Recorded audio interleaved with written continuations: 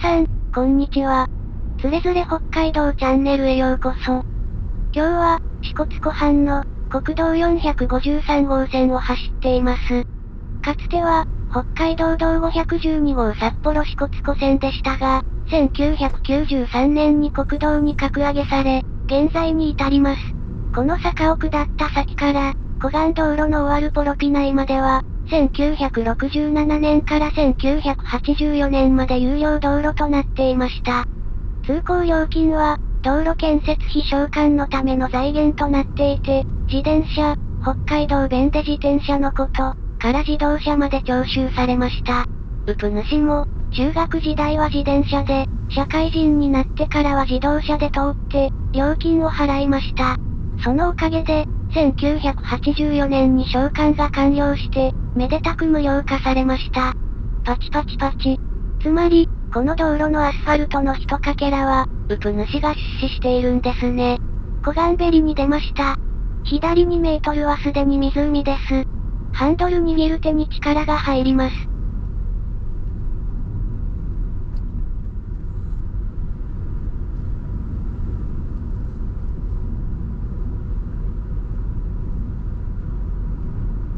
右側の工事車両が止まっているあたりに、料金所がありました。有料道路は、料金徴収時間が日中だけで、当期間は無料となっていました。それを逆手にとって、時間外を狙って通ったり、料金所まで行かないで途中で折り返したりと、結構せこい真似もしていました。要するにケチなんですね。料金は、小型自動車が250円、自転車50円でした。当時の通行券です。黄色い車はカローラでしょうか。高卒公務員の初任給が7万円の時代です。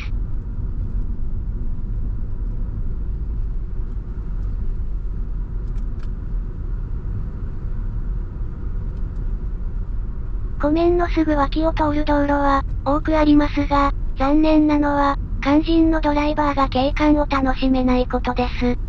助手席の特権ですね。十勝地方にあるり別湖は、道路幅が狭くきつめのカーブが多いため、大型観光バスは、ガイドさん部分が湖面上に出っ張ってカーブを曲がるそうです。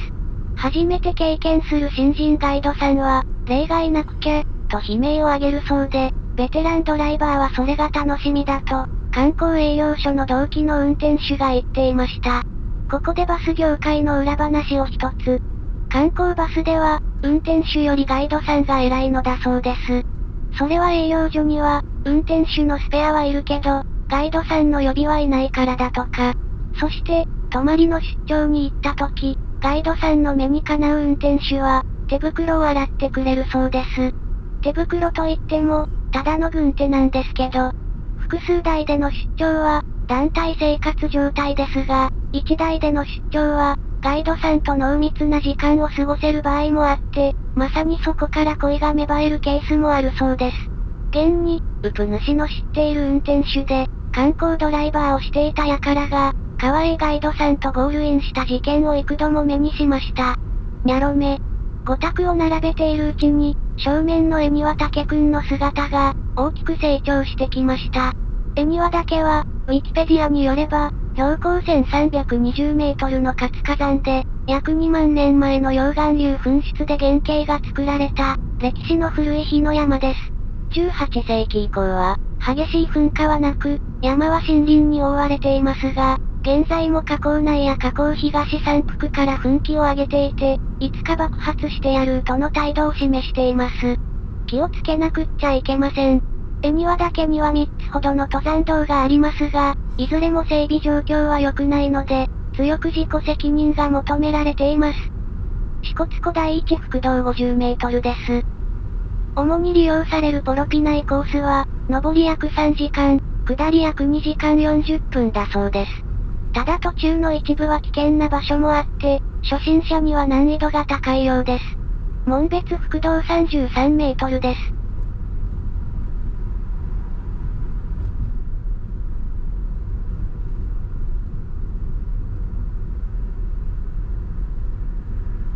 支笏湖第二副道30メートルです。ボロピナイ副道45メートルです。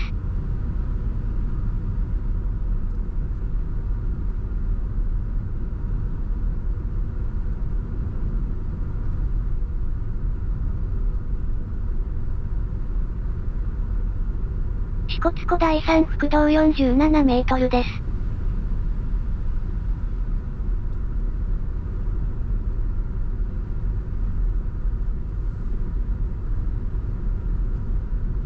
支笏湖第四副道50メートルです。支笏湖第五副道20メートルです。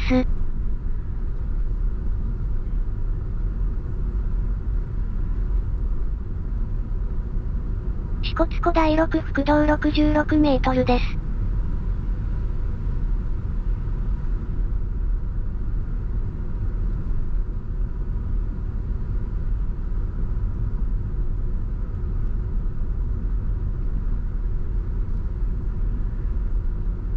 支笏湖第7副道40メートルです。これで、この区間の副道9本をクリアです。副道が多いということは、落石危険地帯ということですね。ここで大地震が来て、土砂崩れに巻き込まれたら、水深363メートルに飲み込まれて、まさに浮かばれないことになりますね。今、気がつきましたが、肝心の支笏湖ちゃんの紹介を忘れていました。怒りの大津波を起こされないように、次回後編に紹介しようと思います。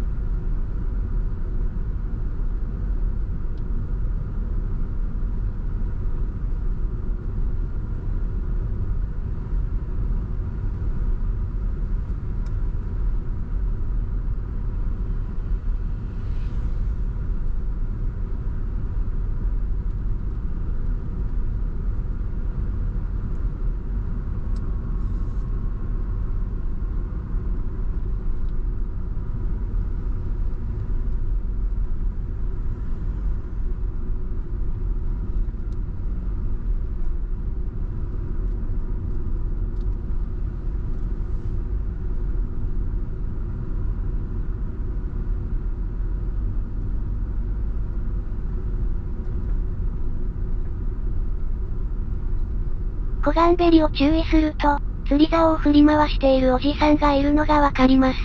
今日、6月1日はヒメマスの漁が解禁され、午前3時から対抗棒が来ています。午前9時頃のポロピ内は、竿を立てた船だらけでした。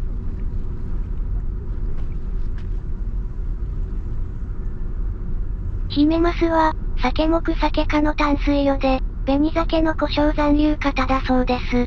北海道では、アイヌ語を語源とするチップとも呼ばれています。支笏湖の領解禁は6月から8月までで、地元支笏湖周辺の飲食店で賞味できます。竿に覚えのある人は、自分で釣って食すというオプションも選択できますね。向こうに、ボロピナイが見えてきました。ボート場や売店などがあります。昔キャンプ場があって、ウプ主が中学校の時にキャンプ学習できました。その後、平成20年に閉鎖され、キャンプ場跡は、現在は立ち入り禁止になっています。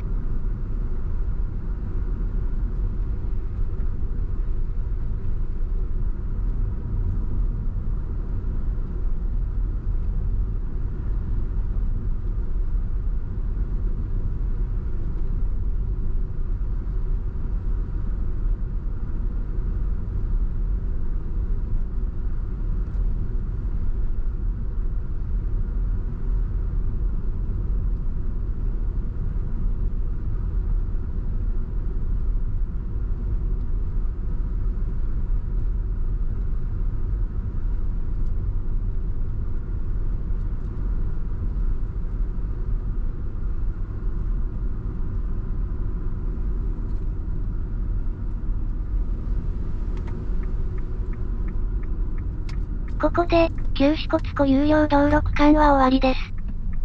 今回の動画はこれでおしまいです。最後までご視聴ありがとうございます。また次の動画でお会いしたいと思います。次の動画は、旧支笏湖有料道路の後編です。後編は、助手席車窓堪能版です。チップ食べたい、というプ主のお腹に、また今度ね、とごまかしながらお別れです。では、では、バイチャ。